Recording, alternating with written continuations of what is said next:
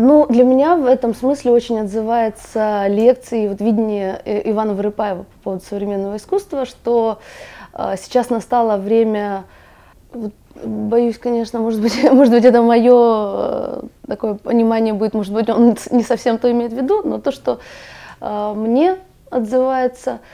о том, что действительно сейчас э, искусство находится на таком, в таком периоде, когда нет объективной ему оценки. То есть если раньше э,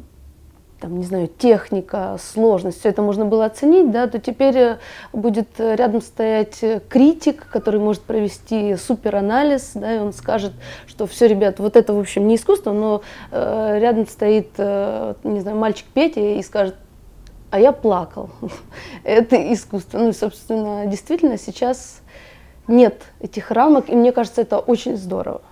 Это очень здорово, потому что мы движемся как раз-таки